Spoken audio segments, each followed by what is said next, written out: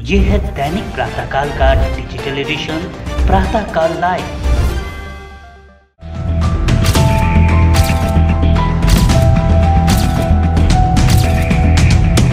college में विद्यार्थियों को गांजा सप्लाई करने वाले नशे के तीन सौदागरों को डोंबिवली की मानपाड़ा पुलिस ने गिरफ़्तार किया है।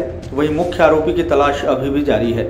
आपको बता दें कि धुलिया के आदिवासी इलाके से लाकर डोंबिवली के स्कूल कॉलेजों में गांजा सप्लाई किया जाता था। पुलिस ने डोंबिवली के रहने वाले आनंद शंकर देवकर के पास से तीन लाख दस हज़ार पाँच सौ रुपये का गांजा जब्त कर रहमल पावरा और संदीप पावरा को गिरफ़्तार कर लिया है। वहीं नशे का मुख्य सौदागर दिनेश पावरा फरार बताया जा रहा है, जिसकी तलाश में पुलिस लगी हुई है। इस बारे में मानपाड़ा पुलिस स्टेशन के वरिष्ठ निरीक्षक शेखर बागड़े के अनुसार पुलिस को गुप्त सूचना मिली थी। उसी के आधार पर मानपाड़ा पुलिस की टीम ने शिवम होटल के पास घेराबंदी करके 20 किलो 300 ग्राम गांजा बरामद किया है। प्रस्तुत है प्रातःकाल लाइव संवाददाता महावीर बड़ाला की रिपोर्ट।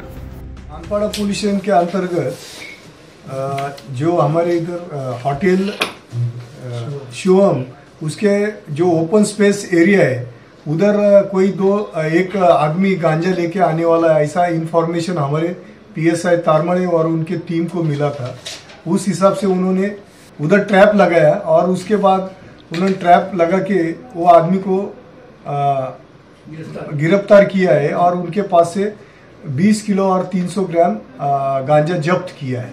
इसके मार्केट मार्केट वैल्यू कि- कितने है? उसका मार्केट वैल्यू तीन लाख पंद्रह हज़ार तीन लाख पंद्रह हज़ार रुपए है। ग्राहक इनके कौन होते थे सर? किन लोगों को बेचा जाता था गांजा? ये मैक्सिमम इनका ग्राहक जो कॉलेज के स्टूडेंट या रिक्शा वाले इनको बेचता था।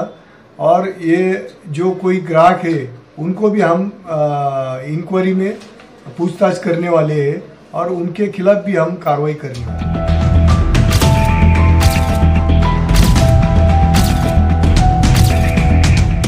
अगर आप ये कार्यक्रम YouTube पर देख रहे हैं तो हमारे चैनल को ज़रूर सब्सक्राइब करें। और Facebook पर देख रहे हैं तो हमारे पेज को लाइक करना ना भूलें।